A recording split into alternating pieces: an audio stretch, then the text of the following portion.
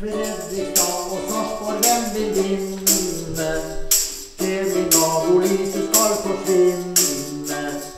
Den som helt på tampen vinner kampen, er den som slukker aller siste lampen. Ja Hei, gutter. Morning. Morgen. Kan ikke klikke han, Bjørnar. Klikke? Klikke på miljø og klima, Kai. Klikke på miljø og klima, Kai. Bjørnar. Spillborg. Ja, jeg kan prøve. Da, da begynner jeg, Spillborg. Ja. Tjoho! Fredrikstad og Sarpsborg, hvem vil vinne? Treninga hvor lyset skal forsvinne. Spennende blir det fytikada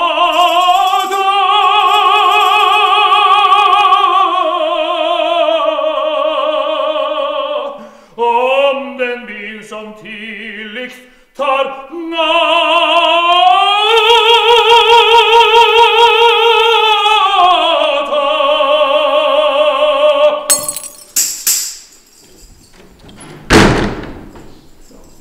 Det klikka jo der, Kai. Ja, klikka helt uh, godt. Og der blir det mørkt.